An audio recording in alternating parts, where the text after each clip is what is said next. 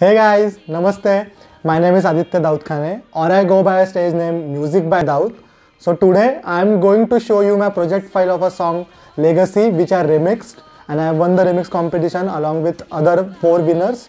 So today I am going to show you my project file. So let's dive it into the project. This will be our legacy. So here is the overall uh, look of the project file. So I will uh, start by showing you the chord progression.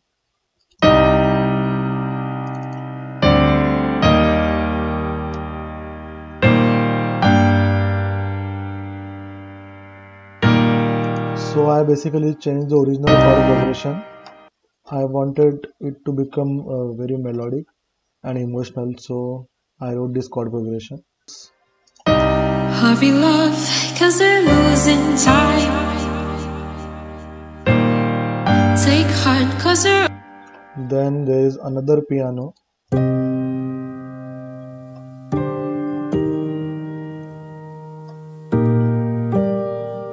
So both together.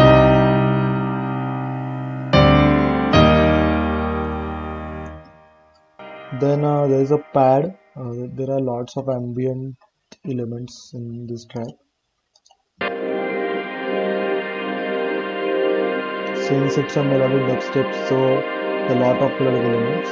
Running from the lands. Then from this section, I have added strings.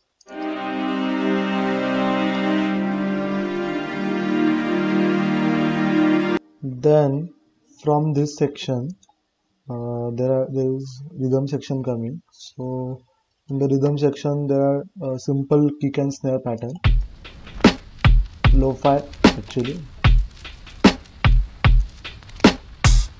Then there is a Reese bass.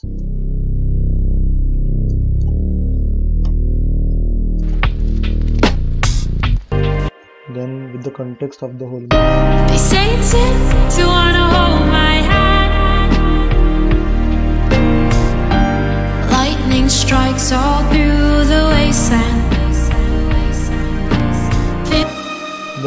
from this section, uh, I have added plugs, uh, so they sound like this.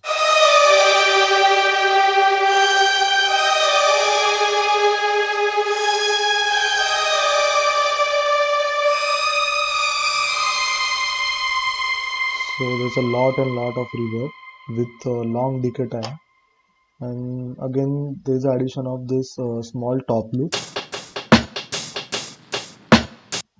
So in the context, This I know where you go, I will go. You're seeing. Then from here there is a very simple build up. Driver, kick,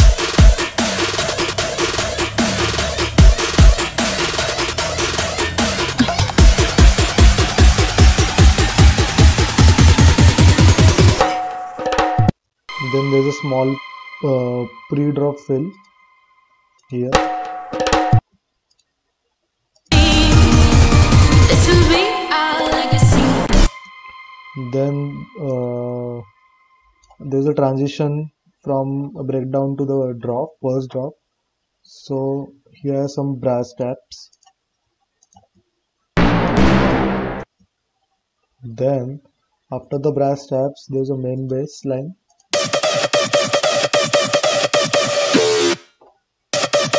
Most of the things I have bounced to audio to save my CPU actually uh, with a sub bass.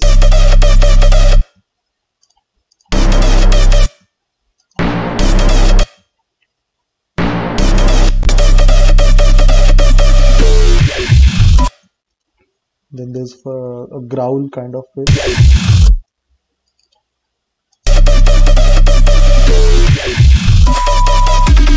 Then from here, the drums actually start. Drums uh, do do not uh, start from the beginning. We have uh, drums. Then there's this beep kind of. I actually don't know why I added that, but still.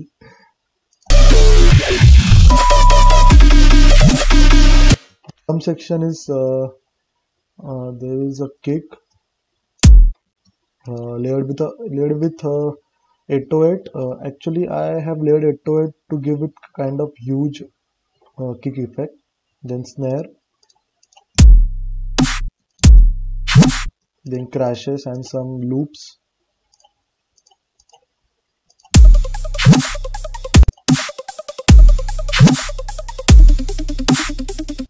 And you can see here these are the side chains this is for 80 this is for kick and this is for 808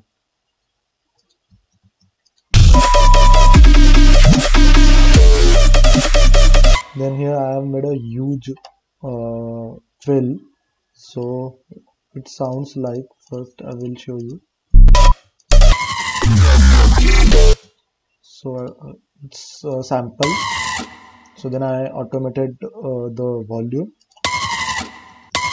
then automated the pitch. So pitch goes down and goes up. Then there is a second growl then I panned it from left to right. Then there is a third growl then I panned it from right to left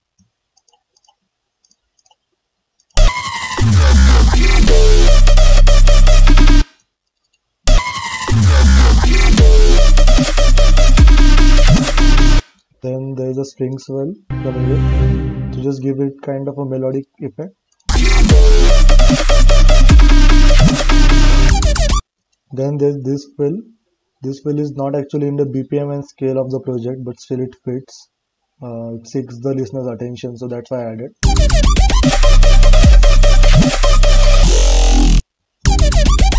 Then there's this fill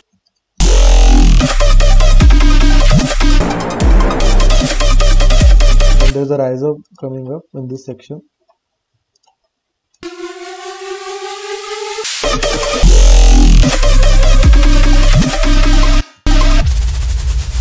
Then I have made this exhaust. So it's uh, first there is this exhaust. Then automated the volume. Then I automated the rate of the uh, first automation. You can see here visually then there is one impact. And I have also panned this exhaust uh, to the right and left. Um, I think yes. So it just goes uh, from right to left left to right kind of LFO kind of. Then in this in the next section there is a piano arp then uh, there is this vinyl crackle vinyl crackle type of thing. Impact. And these two pads playing consistently throughout. Hurry, love, before the air gets cold. then here I have created this sliding bass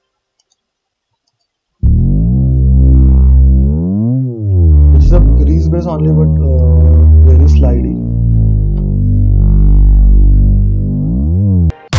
They say it's in to wanna run from your past. then here uh, there's a pad a loop from uh, schematics. So I just automated the volume. With claps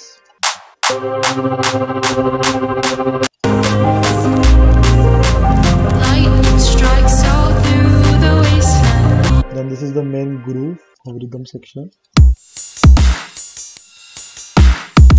With a hi-hat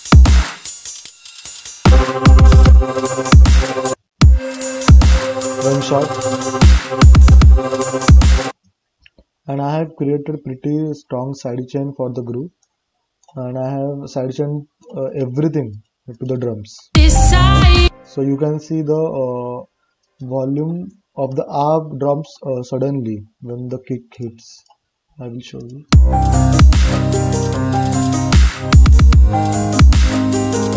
so it just uh, creates kind of bouncy me. This can be our legacy. a sim- simple build up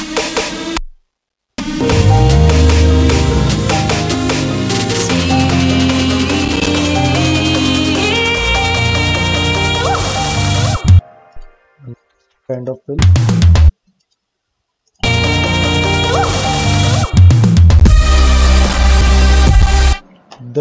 there comes the second drop, which is a very melodic kind of drop. The first drop was kind of a dubstep drop, and this is a melodic kind of drop. Are the layers for my saws, detuned kind of.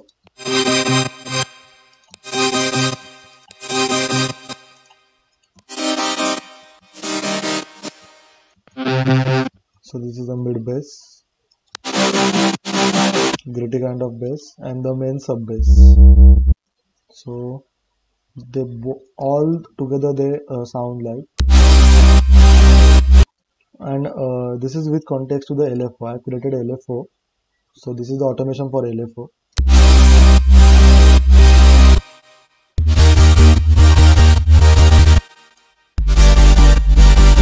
Then uh, this is the lead playing over the top of the saws.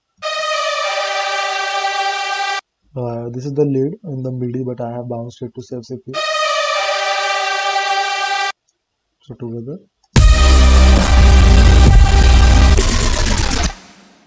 So here is my first uh, fill, which is so it was boring, so I automated the pitch. So pitch goes down.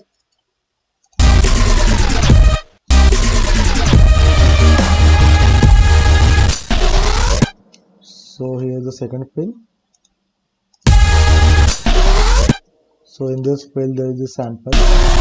So automated the volume and then panned it slightly panned it from left to right and then automated the pitch. So pitch goes up, uh, upwards. And before this fill there is a foley kind of impact kind of glass breaking. So it sounds like. So here there are two fills. So i will show you one by one. So this is the, this is the first fill. So again i automated the volume. And then automated the pitch. And then the second fill it's a vocal kind of fill. So here's the sample so it was a normal sample then i distorted it and added reverb with lots of decay. Then automated it from left to right. Then took the same sample and reversed it. So this is without distortion. And then uh, uh, automated the volume. So the whole fill sounds like so the both the fills together. So in the context. So here the next fill so someone is screaming kind of fill then automated the volume then automated the pitch. Pitch go pitch is going downwards. Panned it from right to left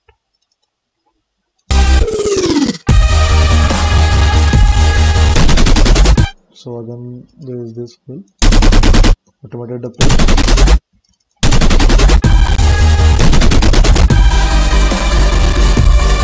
So in the last section of the drop, uh, along with this riser, there is this white noise riser.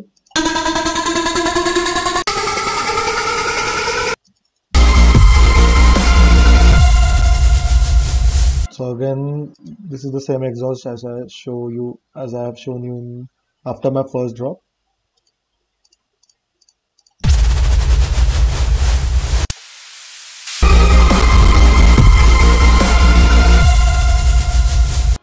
Yes, this is the overall project. Uh, if you have any doubts, uh, you can DM me on my Instagram. You can mail me on uh, musicbydaut at gmail.com. So, thank you for watching.